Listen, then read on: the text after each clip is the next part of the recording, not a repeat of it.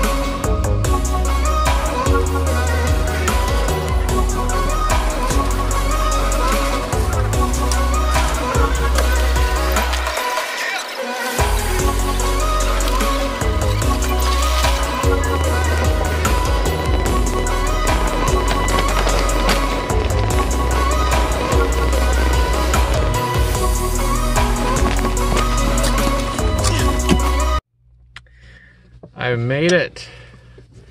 And I didn't really get anything extra. I'm proud of myself. I was about to get that Safeway Chinese Express, but that that chicken looked like it was pretty old. That chicken looked like beef, so I said no thank you. All right, let me watch the road. All right, you guys have a good one. Wait, hold on. Let me park. Okay. Just kind of a lazy day today. Is anybody winding down? Not really doing anything. Kids had Zoom meetings, but that's about it. I'm about to get on that road again. You guys have a good one. Peace.